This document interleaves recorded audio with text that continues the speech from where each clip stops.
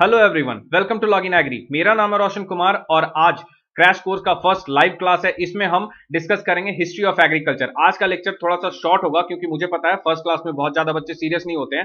तो आज बहुत कम बच्चे ज्वाइन कर पाएँगे तो इसलिए मैंने थोड़ा सा शॉर्ट रखा है। कल का लेक्चर बहुत ही लंबा होगा, कल पढ़ेंगे हम क्रॉपिंग सिस्टम एंड पैटर्न तो कल का लेक्चर बहुत ही लंबा होगा, कल ज़्यादा से ज़्यादा बच्चे ज्वाइन हो। मैं नहीं चाहता कि कुछ इंपॉर्टेंट टॉपिक छूटे, और ये लेक्चर्स सिर्फ़ लाइव जब तक चल रहा है, तभी तक आप देख सकते हो यूट्यूब पर अवेलेबल नहीं होंगे। तो मैं चाहता हूँ ज़्यादा से ज़्यादा बच्चे ज्वाइन कर सकें, और पीडीएफ डिस्क्रिप्शन बॉक्स में लिंक दी हुई है, वहाँ से आप पीडीएफ डाउनलोड कर सकते हो। बट इंपॉर्टेंट है कि जो मैं आपको पढ़ा रहा हूँ, वो आप ध्यान से सुनो तो पीडीएफ फिर बाद में आपको पढ़ने में बहुत ही आसानी होगी और सब कुछ याद रहेगा। तो चैनल को आप ज़रूर सब्सक्राइब कर लें ताकि लाइव क्लास आपका मिस ना हो। चलिए शुरू करते हैं आज का first class, history of agriculture. थोड़ा सा बैकग्राउंड समझते हैं पहले कि एग्रीकल्चर है क्या। So when it comes to definition agriculture is the science art और practice of cultivating the soil producing crops and raising livestock तो कौन कौन से एक्टिविटीज़ मेनली आते हैं एग्रीकल्चर के अंदर? सॉइल को कल्टीवेट करना क्रॉप्स प्रोड्यूस करना, जैसे पैडी वीट ज्वार, बाजरा, इनको प्रोड्यूस करना एंड रेजिंग लाइफ स्टॉक मतलब गाय, भैंस, बकरी, इनको पालना, ये सारे एक्टिविटीज़ मेनली एग्रीकल्चर के अंदर आते हैं।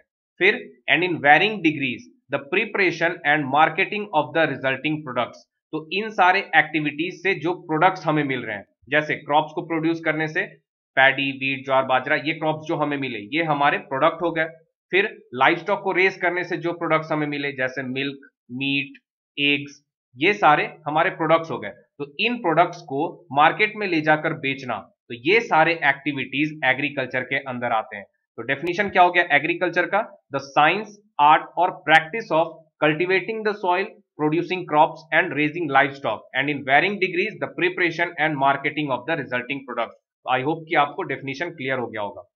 Now when it comes to literature agriculture जो टर्म है, ये दो लैटिन वर्ड्स को मिलाकर बना है। देखिए मोस्टली जो भी टर्म्स होते हैं, जिनके लास्ट में कल्चर वर्ड आता है, वो सारे मोस्टली लैटिन वर्ड्स होते हैं। जैसे हॉर्टिकल्चर ऑलेरिकल्चर एग्रीकल्चर ये सारे लैटिन वर्ड्स हैं। तो एग्रीकल्चर ये दो लैटिन वर्ड्स को मिलाकर बना है। पहला है इसमें एग्रिक या एगर जिसका मतलब होता है सॉइल दूसरा लैटिन वर्ड है कल्चरा जिसका मतलब होता है कल्टीवेशन एग्रिक या एगर प्लस कल्चरा, इन दोनों को मिलाकर बनाए एग्रीकल्चर। अगर इसके हिसाब से देखें तो एग्रीकल्चर का मतलब क्या होता है? Cultivation of soil. बट मैंने आपको बताया कि एग्रीकल्चर बहुत ही वास्ट टर्म है, इसका स्कोप बहुत ही वास्ट है और बहुत सारे एक्टिविटीज़ आते हैं, जैसे सॉइल को कल्टीवेट करना, क्रॉप्स रेज करना, क्रॉप्स प्रोड्यूस करना लाइफ स्टॉक रेज करना, फिर उनको मार्केट में ले जाकर बेचना। तो ये सारे एक्टिविटीज़ एग्रीकल्चर के अंदर आते हैं। तो इसका स्कोप बहुत ही वास्ट है।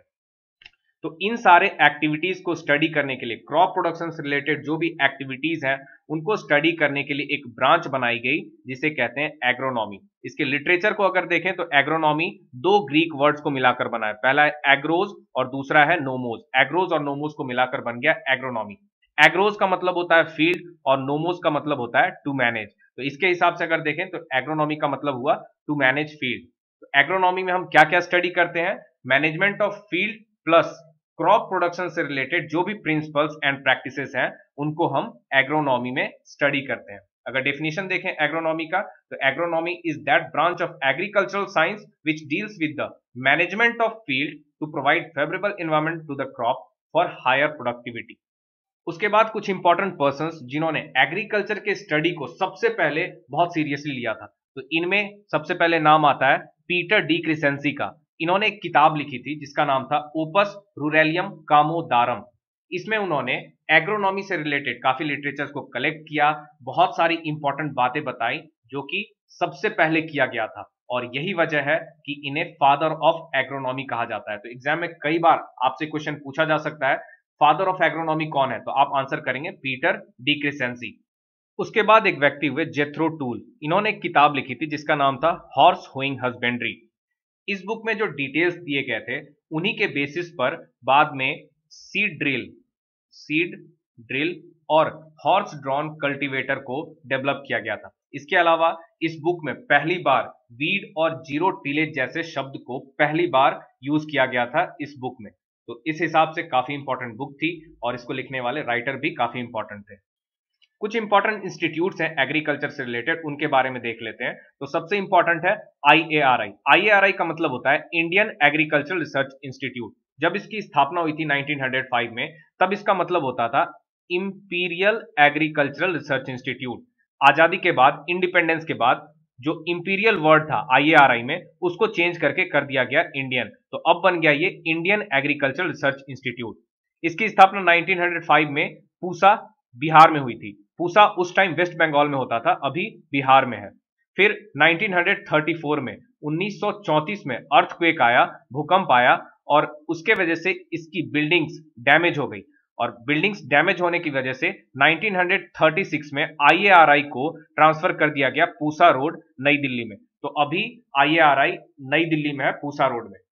फिर 1958 में आईआरआई को डीम्ड यूनिवर्सिटी का स्टेटस दे दिया गया यूनिवर्सिटी ग्रांट कमीशन के द्वारा। डीम्ड यूनिवर्सिटी का मतलब होता है कि इंस्टीट्यूट के पास पूरी ऑटोनोमी होती है, कि वो अपने इंस्टीट्यूट की fee structure, course work, research centres जो भी हैं, कहाँ होंगे, क्या होंगे, सब कुछ वो खुद डिसाइड करता है। तो ये ऑटोनोमी होती है। तो डीम्ड यूनिवर्सिटी का स्टेटस दे दिया गया आईआरआई को 1958 में। उसके बाद ICAR Indian Council of Agriculture Research. ये एक फुल ऑटोनोमस बॉडी है, जो कि पूरे इंडिया में एग्रीकल्चरल एजुकेशन और एग्रीकल्चरल रिसर्च को कोऑर्डिनेट करने के लिए रिस्पॉन्सिबल है।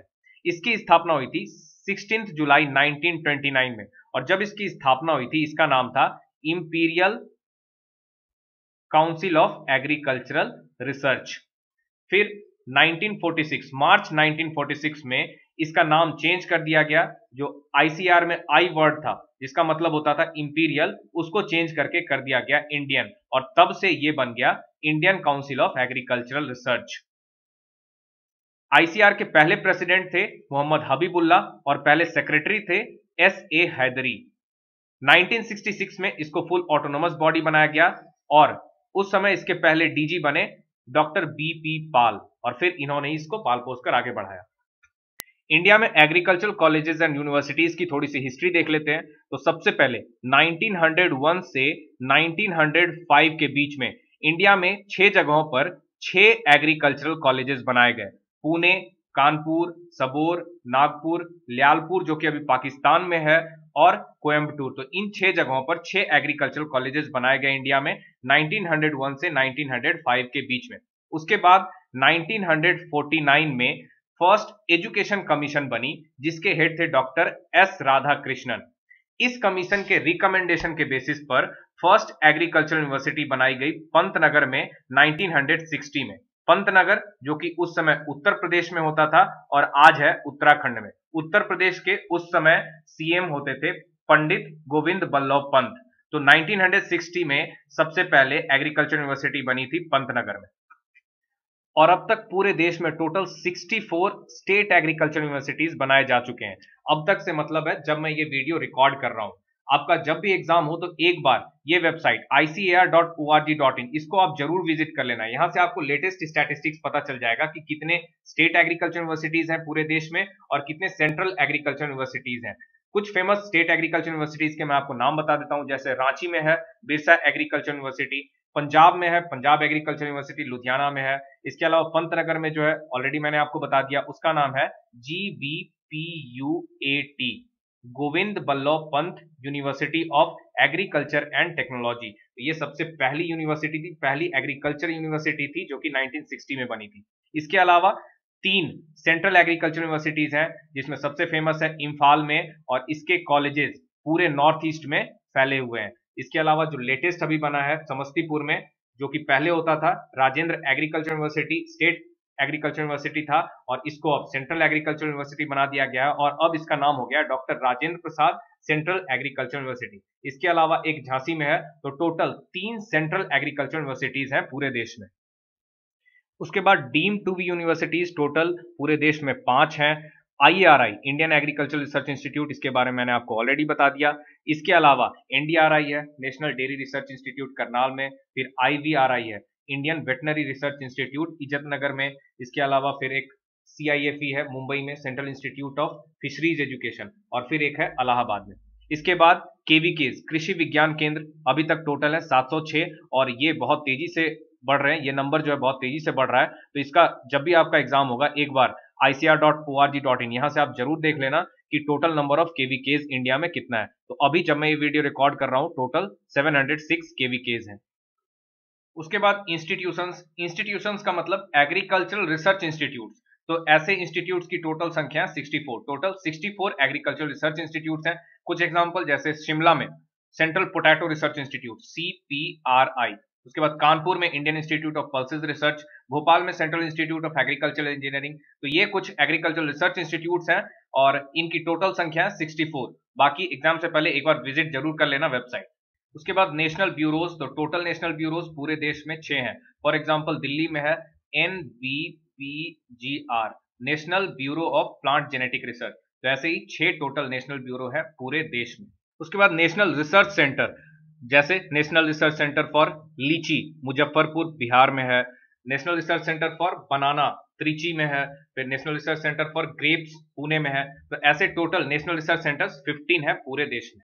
उसके बाद प्रोजेक्ट डायरेक्टरेट्स की बात करें तो टोटल पूरे देश में तेरह प्रोजेक्ट डायरेक्टरेट्स हैं। For example Directorate of Mushroom Research Solan में है, उसके बाद Directorate of Weed Research Jabalpur में है तो ऐसे टोटल थर्टीन प्रोजेक्ट डायरेक्टरेट्स हैं एग्रीकल्चर से रिलेटेड और इसके अलावा आप वेबसाइट ज़रूर विज़िट करें एग्ज़ाम से पहले ताकि जो लेटेस्ट डेटा है वो आपको मिल सके। कुछ इंपॉर्टेंट रिवॉल्यूशन हुए एग्रीकल्चर में, उनको देख लेते हैं। तो सबसे इंपॉर्टेंट है ग्रीन रिवॉल्यूशन पैडी और वीट के प्रोडक्शन को और प्रोडक्टिविटी को बढ़ाने के लिए हुआ था 1965-66 में। बहुत सारे लोगों को पता होगा इसके बारे में ग्रीन रिवॉल्यूशन के बारे में। इसके अलावा कुछ और इंपॉर्टेंट रिवॉल्यूशन है एग्रीकल्चर में, उनको भी हम देख लेते हैं। उनकी लिस्ट यहाँ पर बनी हुई है। तो कुछ है जैसे व्हाइट रिवॉल्यूशन मिल्क प्रोडक्शन को बढ़ाने के लिए हुआ था, फिर ब्लू रिवॉल्यूशन फ़िश प्रोडक्शन को बढ़ाने के लिए हुआ था। राउंड रिवॉल्यूशन, पोटैटो प्रोडक्शन को बढ़ाने के लिए हुआ था, परभनी रिवॉल्यूशन, ओकरा प्रोडक्शन को बढ़ाने के लिए हुआ था। तो ये सारे आप याद कर लेंगे, सारे इंपॉर्टेंट है एग्ज़ाम में कोई भी पूछा जा सकता है। प्रीवियस ईयर्स में पूछे हुए क्वेश्चंस को देख लेते हैं, इनसे आपको आइडिया लग जाएगा कि इस टॉपिक से, जो टॉपिक मैंने आपको पढ़ाया है, इससे अगर क्वेश्चन पूछते हैं एग्ज़ाम में तो किस तरह के क्वेश्चंस आपसे पूछे जाएँगे? इन टॉपिक से अगर क्वेश्चन पूछे जाते हैं आपसे एग्ज़ाम में तो उनको बहुत ही इजी कंसीडर किया जाएगा, बहुत ही इजी क्वेश्चंस होते हैं। तो सबसे फ़र्स्ट क्वेश्चन है Central Agriculture University is situated in Central Agriculture University कहाँ पर है? ये है इम्फाल में, और पूरे नॉर्थ ईस्ट में सेंट्रल एग्रीकल्चर यूनिवर्सिटी के डिफरेंट कॉलेजेस फैले हुए हैं। For example College of Agriculture Engineering Central Agriculture University का जो कॉलेज ऑफ़ एग्रीकल्चर इंजीनियरिंग है, वो है सिक्किम में। इसी तरह से पूरे नॉर्थ ईस्ट में अलग अलग कहीं पर कॉलेज ऑफ़ एग्रीकल्चर है, कहीं पर कॉलेज ऑफ़ हॉर्टिकल्चर है तो इस तरह से अलग अलग फैकल्टीज पूरे नॉर्थ ईस्ट में फैले हुए हैं। अभी doctor Rajendra Prasad Agriculture University, जो पूसा में था पहले, उसको doctor Rajendra Prasad Central Agriculture University बना दिया गया है। तो ये भी क्वेश्चन आपसे एग्ज़ाम में पूछा जा सकता है तो इसको आप ध्यान में रखेंगे। सेंट्रल एग्रीकल्चर यूनिवर्सिटी इंफाल में, और ये क्वेश्चन कई बार पूछा जा चुका है। जेआरएफ के एग्ज़ाम में आईसीआर का जो जेआरएफ होता है या फिर एएफओ का एग्ज़ाम होता है, ये कई बार पूछा जा चुका है। तो इसको आप ध्यान में रखेंगे। Indian Council of Agriculture Research ICAR कब बना था कब स्टैब्लिश किया गया था? यह किया गया था 1929 में। 1928 में आईसीआर को बनाने के लिए रिकमेंडेशन किया गया था और 1929 में Indian Council of Agriculture Research बना था। उस समय इसका नाम होता था Imperial Council of Agriculture Research 1946 में इंपीरियल को बदलकर इंडियन कर, कर दिया गया और इसका नाम हो गया Indian council of agriculture research 1905 में आईएआरआई बना था इंडियन एग्रीकल्चर रिसर्च इंस्टीट्यूट ये क्वेश्चन जब मैंने एग्ज़ाम दिया था 2017 में, तब पूछा गया था ये question Central Institute of Agriculture Engineering CIAE ये इंस्टीट्यूट कहाँ पर सिचुएटेड है, कहाँ पर है? ये है भोपाल, मध्य प्रदेश में। Central Institute of Agriculture Engineering के पास ये Indian Institute of Soil Sciences ये दोनों भोपाल में है, दोनों इंपॉर्टेंट है, दोनों को आप याद रखेंगे। Indian Institute of Pulses Research IIPR ये इंस्टीट्यूट कहाँ पर सिचुएटेड है? ये है कानपुर में। तो ये था हमारा first video lecture live classes का हिस्ट्री ऑफ़ एग्रीकल्चर हमने बहुत सारी छोटी छोटी बातें देखी। आज का लेक्चर हम थोड़ा सा शॉर्ट रखेंगे क्योंकि बहुत सारे बच्चे ज्वाइन नहीं कर पाए होंगे, बहुत लोगों को पता नहीं होगा। और ये वीडियो लेक्चर जब तक लाइव चल रहा है, तभी तक आप देख सकते हो। इसके बाद यूट्यूब पर अवेलेबल नहीं होगा। तो कल जब बहुत सारे बच्चे ज्वाइन हो जाएँगे, बहुत सारे बच्चों को पता चल जाएगा, तब कल का लेक्चर हम बहुत ही बड़ा रखेंगे। उसमें पढ़ेंगे, कल के लेक्चर में हम डिस्कस करेंगे क्रॉपिंग सिस्टम एंड पैटर्न तो ये बहुत ही लॉन्ग टॉपिक होगा। इसमें हम cropping system cropping pattern mix farming sole cropping intercropping mix cropping इन सब चीज़ों को डिस्कस करेंगे और बहुत ही लंबा लेक्चर होगा। और हमें सारा का सारा सिलेबस भी कवर करना है। तो मैं चाहता हूँ कि ज़्यादा से ज़्यादा बच्चे ज्वाइन कर लें क्लास को, तब हमारा लाइव क्लास स्टार्ट हो। तो आज का थोड़ा सा छोटा था, हमने देखा किस तरह से मैं पढ़ाऊँगा, ये आपको पता चल जाए। और आपको अगर अच्छा लग रहा है, और भी बाकी लोगों को बताओ, कल का लेक्चर ज़्यादा से ज़्यादा बच्चे ज्वाइन करें तो कल के लेक्चर में हम ज़्यादा टॉपिक डिस्कस करेंगे। अगर पॉसिबल होगा तो एनिडेशन एंड एलोलोपैथी भी मैं कल के लेक्चर में ही डिस्कस करूँगा। और पीडीएफ डिस्क्रिप्शन बॉक्स में लिंक दी हुई है। वहाँ से आप फ़र्स्ट लेक्चर का पीडीएफ डाउनलोड कर सकते हैं। बाकी चैनल को आप सब्सक्राइब कर लो, आपको नोटिफिकेशन चले जाएँगे लाइव क्लासेस का। तो आप क्लासेस मिस नहीं करोगे। मेरे बारे में कुछ जानना हो तो ये मेरा फेसबुक प्रोफ़ाइल है। Facebook dot com slash I am Roshan Kumar Singh मेरे बारे में जो कुछ भी जानना हो, यहाँ पर सब कुछ लिखा हुआ है। आप चाहो तो मुझे यहाँ पर भी मैसेज कर सकते हो। किसी तरह का डाउट किसी तरह का सजेशन हो तो प्लीज़ कमेंट बॉक्स में ज़रूर लिखकर बताइएगा और ये ज़रूर बताइएगा कि आज का वीडियो लेक्चर आपको कैसा लगा। कल इसी टाइम लाइव क्लासेस का सेकंड लेक्चर हम स्टार्ट करेंगे। कल का लेक्चर थोड़ा सा बड़ा होगा क्योंकि पूरी की पूरी सिलेबस हमें कवर करना है। जो भी इंपॉर्टेंट टॉपिक्स है, सारे के सारे हमें कवर करने हैं। पीडीएफ के लिए लिंक डिस्क्रिप्शन बॉक्स में दिया हुआ है। वहाँ से आप पीडीएफ डाउनलोड कर सकते हैं या हमारे वेबसाइट पर पीडीएफ सेक्शंस में जाकर आप वहाँ से पीडीएफ डाउनलोड कर सकते हैं। तो this is Roshan Kumar signing off see in the next video channel को आप ज़रूर सब्सक्राइब कर लें ताकि लाइव क्लासेस के नोटिफिकेशन आपको जाते रहें और आपका वीडियो लेक्चर छूटे ना।